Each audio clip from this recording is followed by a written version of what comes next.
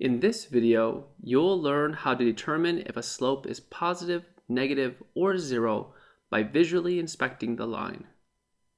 How can you tell if the slope of a line is positive or negative without looking at any numbers? The definition of a slope is a line that is at an incline or a slant. In math, a line can have a positive slope, a negative slope, or a slope of zero. The coordinate plane shows three lines with different slopes. There are specific characteristics of each type of line. A positive slope increases from left to right and the y value increases as the x value increases. A negative slope decreases from left to right and the y value decreases as the x values increase.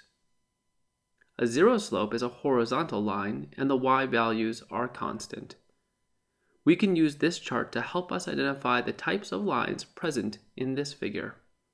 Line 1 decreases as it goes from left to right, so this is a negative slope. Line 2 is horizontal, so this is a zero slope. Line 3 increases as it goes from left to right, so this is a positive slope.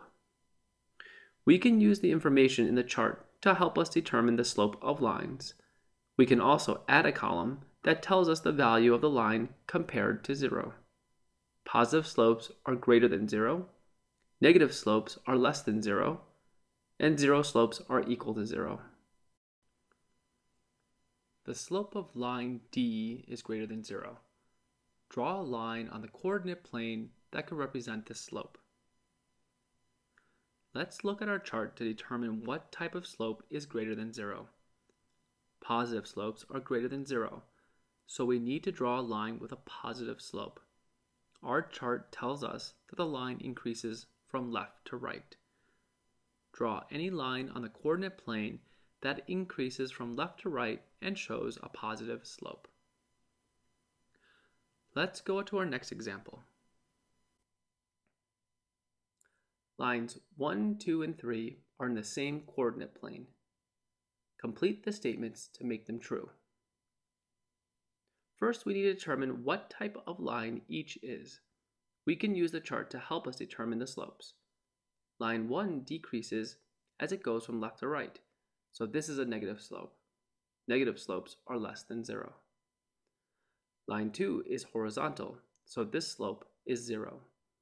0 slopes are equal to 0. Line 3 increases as it goes from left to right, so this is a positive slope.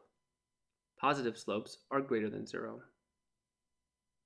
Let's practice determining another set of slopes. The coordinate plane contains three lines, which correctly orders the slopes. We will first determine what type of slope each line has. We can see that none of the lines are horizontal, so none have a slope of zero.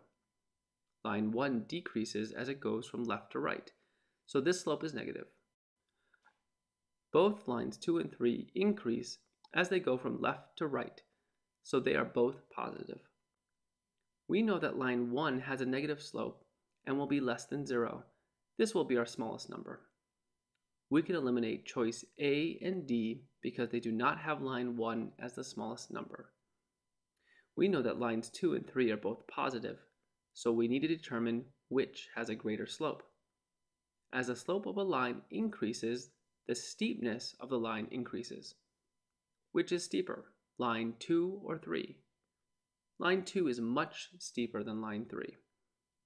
Since line 2 is the steepest, we know that the slope is greater than line 3. We know that line 3 has a greater slope than line 1 since line 1 is negative. The order should be line 2 is greater than line 3, which is greater than line 1.